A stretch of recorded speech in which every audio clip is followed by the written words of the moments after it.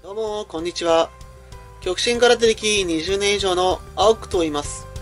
本日もそこから得られた知識や経験を皆様にお話ししていこうと考えております。本日は、極真空手家が15年研究した末の真実、ムエタイ幻想の正体パート2といたしまして、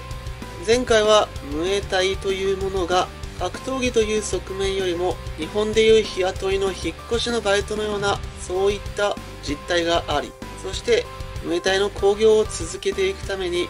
格闘技中心よりもギャンブル化していったために起きた変遷についてお話しさせていただきました。今回はそのムエタイの誰も紐解けなかった技術体系の真髄についてお話しさせていただきたいと考えております。ムエタイその戦いの大前提として存在しているのが相手にダメージを残さないというものがあります。ムエタイでは相手がいて自分が食えるという暗黙の了解があるようなのです。相手を倒してのし上がる格闘技の一般的なものとは違い相手がいて自分がいてそしてかける人がいてそれを日常的に繰り返すことができてそうやって生計を立てる前回お話ししたようにそういうシステムが確立しています。ですのでどうやらムエタイではメインイベントという概念がないようなのです。有名どころの初出場も全く同じ演出でスモークなどもたかれるようなことはなく観客メインイベントが目的というわけではなく純粋に掛け事のために来ているそういったものになっています。ですから必然的に本場のムエタイではほとんどローキックが見られません。私も極真空手を20年以上やっていますのでわかりますがローキックもしくは空手でいう二段回し蹴りのダメージというものはその試合中その日どころかひどい時は1ヶ月近くダメージが抜けない時すらあります。だからムエタイでローキックでの KO を狙っているような選手はそれほど見たことはありません。そして顔面に対してのパンチの連打もほとんどありません。理由は前回述べた通り脳のダメージは重篤な後遺症を残す可能性があるからです。そしてムエタイのルールでは高く芸術的な蹴りそれが試合の勝敗を分ける非常に重大なポイントになります。それに加えて首相撲の巧みさそれも大きな比重を占めるようです。だからこそ彼らはそれほどダメージにはならず蓄積もしない。腕つまりはガードの上を狙った左ミドルキックを中心に据えているのです。そして接近したらむやみに打ち合うことなく即時に首相撲。そして倒すと決めたら肘による一発ノックアウトが切り裂いての PK 私はこの事実を知った時愕然としました。その時私は無意識に空の王であるわしを連想していました。爪と牙を使い縦横無尽に飛び回りその姿は決して地上を這いずり回る者たちには捉えられることはなく一撃必殺で獲物を刈り取る。まさに無駄のない研ぎ澄まされたその姿。スポーツ化した他の格闘技とはまさに一線を画しています。しかしまあだからこそその技リズムを崩された時は脆い一面が顔を出す場合もあるのかもしれません。そしてそのような土壌スタイルが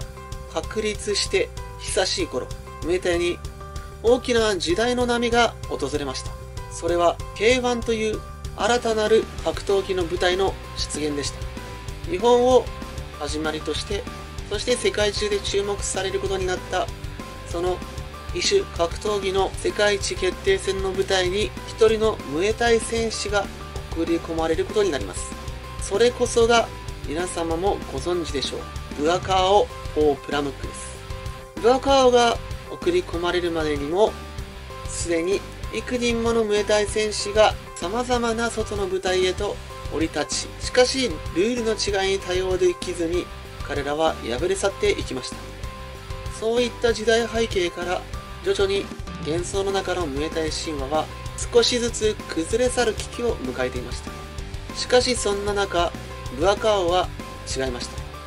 ブアカオとその他のムエタイ選手との違い。それは遠距離からの上段前切りです。ほとんどジャブのようなスピードとノーモーションで放たれるそれに対戦相手はまともに食らってのけぞりバランスを崩されました。そこから飛び込んでのローキック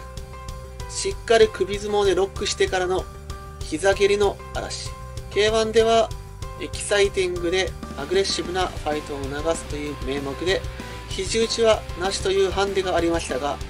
それを感じさせないほどの快進撃を岩川は見せつけました。それは初出場のそのあまりの強さのためにその後 K1 で首相撲が禁止になったというあまりに有名な話でも証明されています。さらにその後の大会では上段前蹴りも禁止になったのではないかという憶測が流れるほど上川は前蹴りを出さなくなりました。しかしそのルールの変化にも上川は対応してしまいます。前蹴りの代わりに左ミドルキックというムエタイの代名詞とも言える技をそれこそ速射砲のように放って放って放ちます。それこそ相手の腕を壊すような勢いで完璧に試合をコントロールしてポイントを取ってしまいました。そして倒す武器として肘打ち。さらに追加項目で禁止されてしまった首相撲の代わりに得得してしまったのが強烈向きな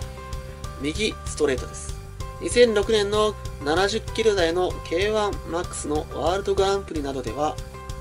ムエタイ選手にもかかわらず準決勝と決勝と連続でパンチで KO を収めてしまうほどでした。ブアカワは結局そのあまりにも鮮烈な活躍によって日本どころか世界中にも知られるほどのスーパースターとなってしまう。その名声や実力は初出場から15年以上が経った現在すら限りや衰えを見せることはありません。実際彼の名を冠した大会やプロモートする大会が世界各地で行われ大盛況を博しています。そして彼の最も強烈な武器を封じられた日本とは違い海外では首相撲からの膝蹴りでノックアウトの山を築き肘打ちで何人もの顔面を切り裂きリング落ちで染めています。実際 K1 の煽りでも語っていましたが選手の多数が貧困のためにムエタイを選ぶ状況の中彼は純粋に強さを求めてムエタイをやっていたのです。そして K1 で活躍したことで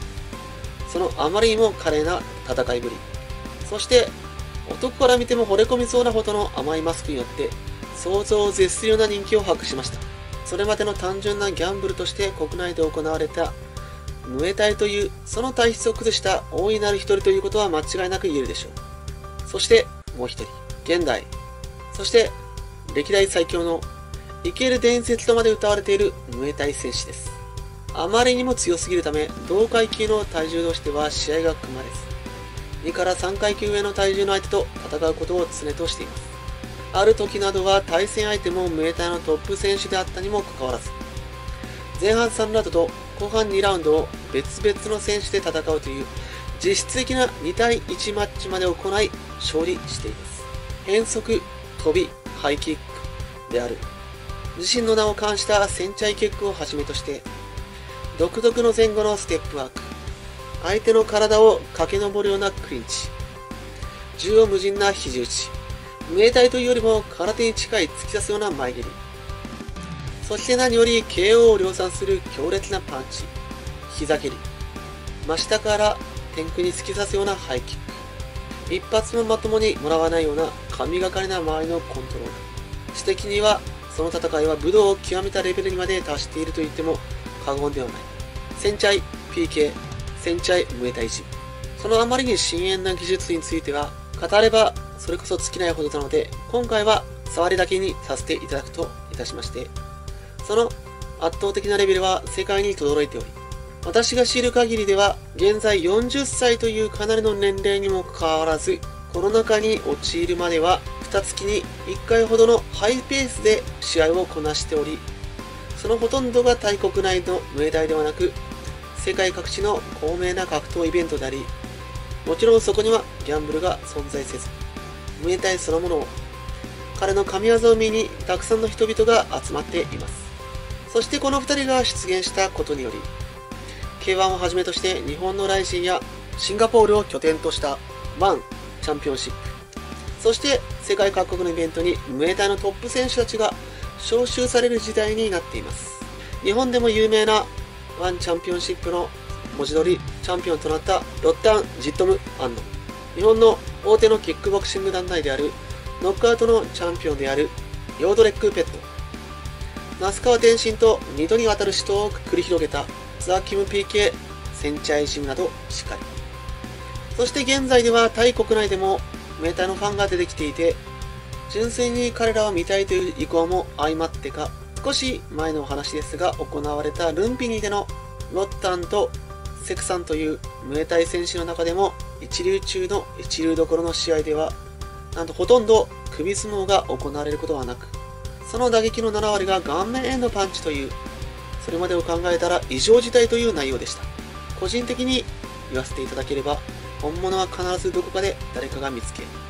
そしてそれは必ず世界的に広がる。ムエタイの現状はその結果に過ぎないと考えています。200回も300回も戦っている。そのような人たちがひしめき合いしのぎを削る。その結果何も生まれないなんてことはありえないと考えます。彼らはまさに常習座いつでも戦いに赴く戦士そのものです。そういうわけで今回は誰も紐解けなかった技術体系の真髄についてお話しさせていただきました。次回はさらに一歩進んで実践編といたしましてその強い本物であるムエタイの選手たちに戦いを挑んだ際どのようにしたら勝つことができるのかそれをお話しさせていただきたいと思います。よろしければお付き合いいただければ幸いです。私はこれからも武道や格闘技その技術や歴史の奥に隠された神話について挑み解き明かしていきたいと考えておりますのでチャンネル登録の方をしていただければ幸いに存じ上げます。本日もご視聴いただき誠にありがとうございます。